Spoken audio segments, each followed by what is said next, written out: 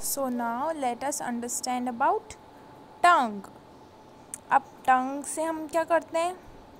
We taste with our tongue हम tongue से क्या कर सकते हैं? टेस्ट हमारे पास टंग नहीं होगी तो हम टेस्ट कैसे करेंगे? है ना? It gives us the sense of taste अब टंग क्या हेल्प करती है? हमें सेंस ऑफ़ टेस्ट टेस्ट करने का सेंस देती है है ना? It gives it helps us know the food that we eat is sweet sour bitter और सॉल्टी अब हमें टंग क्या हेल्प करती है?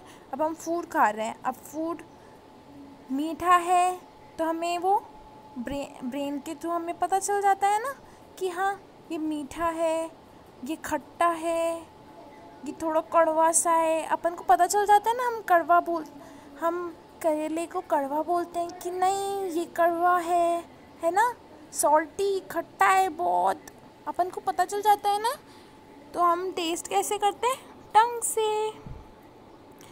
कम टू द स्किन अब skin we feel with our skin अब हम फील कैसे करते हैं? स्किन से।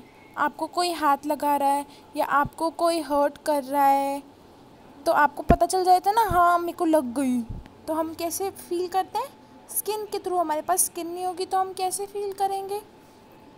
It gives us the sense of touch अब हमें स्किन क्या देती है? हमें सेंस करवाती है कि हमें हाँ टच हुआ। It helps us know whether something is rough और स्मूथ अब हमें वो, अब स्किन है हमारे पास तो हमें पता चल जाता है ना कि रफ़ है कि स्मूथ है। खुरदरा खुरदरा लग रहा है कि हर्ट कर रहा है कि बहुत सॉफ्ट स्मूथ है। हार्ड एंड सॉफ्ट शार्प और ब्लंट हॉट और कोल्ड अब सब पता चल जाता है ना हमको अगर हमसे कोई चीज़ टच करती है अगर वो बहुत गर्म होती है तो हमें पता चल जाता है हो कितनी गर्म है ठंडी होती है। हम बर्फ़ को हाथ लगाते हैं हमको ठंडा ठंडा लगता है ना।